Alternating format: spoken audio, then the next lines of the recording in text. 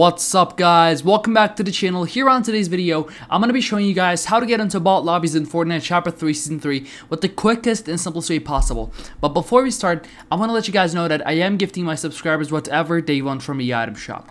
So if you want a chance to get a free gift from me, it can be basically whatever you want from the item shop like any skin, bundle, backbling, pickaxe, wrap, emotes, anything from the item shop including the battle pass. All you want to go ahead and do is subscribe to the channel, like this video, comment down below your Epic Games username, and use my supported code, creator code in the item shop, which is actually called Kavun, K-A-V-U-N. I'm repeating this one more time. If you want a chance to get a free gift from me, it can be basically whatever you want from the item shop, like any skin, bundle, backbling, pickaxe, wrap, emotes, anything from the item shop, including the Battle Pass. All you want to go ahead and do is subscribe to the channel, like this video, comment down below your Epic Games username, and use my supported credit code in the item shop, is actually called Kavun, K-A-V-U-N. Let's go ahead and quickly get into this video. I'm going to show you this brand new way to get into bot lobbies in Fortnite, and you don't need any alt accounts for this. You can do this with your own account, with like one single account, and get into bot lobbies in Fortnite with the quickest and simplest way possible. Let's go ahead and get started right now. So the first thing you want to basically go ahead and do is make your way to the main lobby of Fortnite Battle Royale, just like I am. So after you make your way over here, you're going to go ahead and see this button over here, just like this. So click on that button and we'll say like text chat. This is the text chat. Mine is disabled, but it doesn't matter if it's disabled or not. So when you click on top of that, this is basically what we're gonna wanna go ahead and do.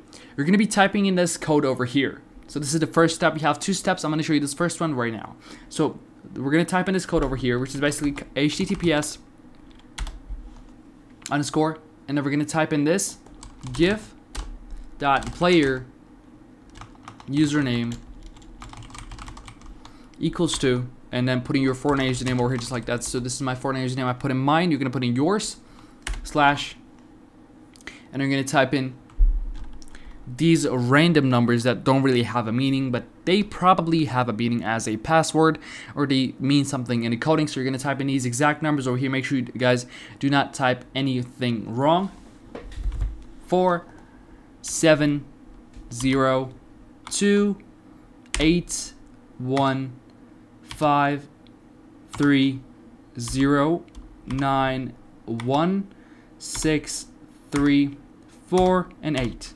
So after you type in these codes over here, you're gonna put a, another dot and type in testing lobby dot access. So after you type in this over here, just like that, and by the way, guys, testing lobby actually means bot lobby, but it's like you have to uh, write it like this over here. So this is the code you want to go ahead and type in https underscore give player username equals to your Fortnite username and then these random numbers and then a dot and then testing lobby dot access. So, so after typing this over here, this is basically what we're gonna what we're gonna want to go ahead and do. So this is the first step. We have another step we need to do, and then after that, we're gonna be able to get into bot lobbies in Fortnite Chapter 3 Season 3. It's pretty simple, guys. Make sure you guys do not skip any parts of this video because everything I'm gonna be telling you is super super important. Let's go ahead and quickly get into the second step of uh, this way to get into bot lobbies in Fortnite. So after you type in this thing over here, just like let it stay over there and then click this button right up here on your screen, just right next to your online friends count. So when you click on that button, it'll go ahead and basically open up so many different tabs for you. So over here we have this tab, some kind of a profile tab. You can see your skin over here. Under that one, we have this friends tab. You can see your joinable parties, your epic online, your away, your offline friends, all your friends over here in this uh, different tab. Under that one, we have this another tab called add friends. You can add friends. You can like uh, accept the invites of people or send invites to other people by typing in their display name. Under that one, we have this microphone icon, which takes us to the voice chat tab. We can do like voice options over here, like voice chat, voice volume, voice method. Under that one, we have another tab called uh, menu tab. So when you click on this tab, it will, it will go ahead and open up so many different tabs for you, just like this, like parental controls, credits, legal, support, code of conduct, reporting slash feedback, Fortnite crew, and settings. So when you see these tabs over here, this is basically what we're, gonna, what we're gonna go ahead and do. We're gonna choose settings from here. After you guys make your way into the settings menu just like that, you're going to find yourself in this tab called video and you're going to see so many different tabs right up here on the screen as well. So in this video tab, you can do like the display, graphics, graphics quality, all the kind of options right inside of this video tab. Just right next to that one, we have this other icon. When you click on it, it says game and it's like you can do your language and region, movement, combat, building options here inside of this game tab just like that just right next to that one we have another tab called game UI you can your HUD options here inside of this one. And then we have another icon over here. When click, click on that it says touch and motion. You can do your gyro options just right inside of this tab as well we have this other tab over here called mouse and keyboard. You can do your mouse sensitivity, mouse light, and tank settings here inside of this tab over here, just like that. And just right next to that one, we have another tab over here, which is basically called controller options. Here inside of this one, we can do like controller input, sensitivity, controller dead zone, all the kind of different controller options here inside of this tab. Just right next to that one, we have another uh, tab called audio. You can see like the speaker icon. Here you can do like volume, sound,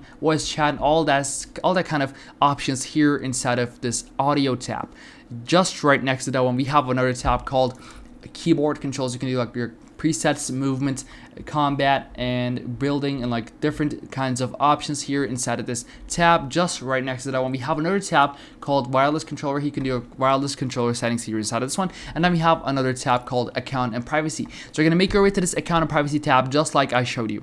So after you make your way over here, just like I showed you, you're gonna see so many different sections called account, social privacy, gameplay privacy, credits, and legal.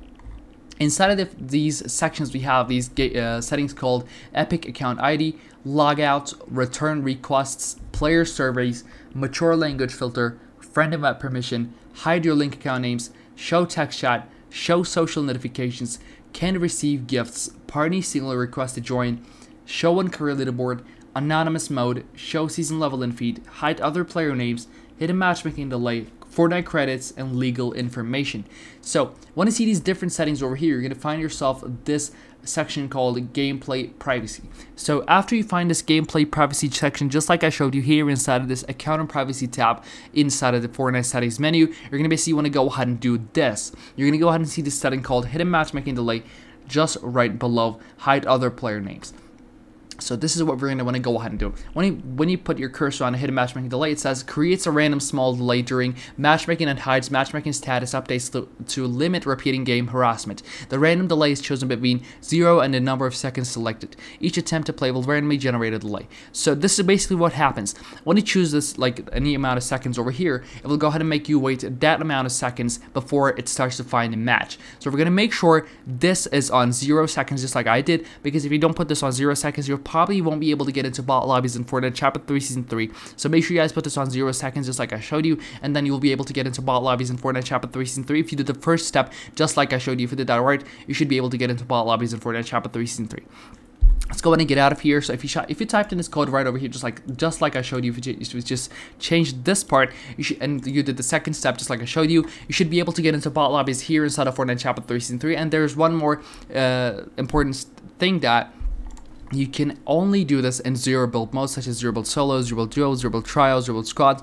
So you cannot actually do this in regular game modes such as solo, duos, trios, squads, or uh, team rumble or any kind of that. You can just like do this in only zero build modes, just like I told you, and you cannot do this in arena as well. So Thank you guys for watching this video. And by the way, guys, thank you so much for 43,000 subscribers. That's a really crazy amount of subscribers. I would like to thank you guys so much for that. I really appreciate it. If you want to see more videos like so, make sure you guys subscribe to the channel and turn on post notifications so you don't miss out any uploads from me. So thank you guys for watching. I will see you later in different videos. Bye.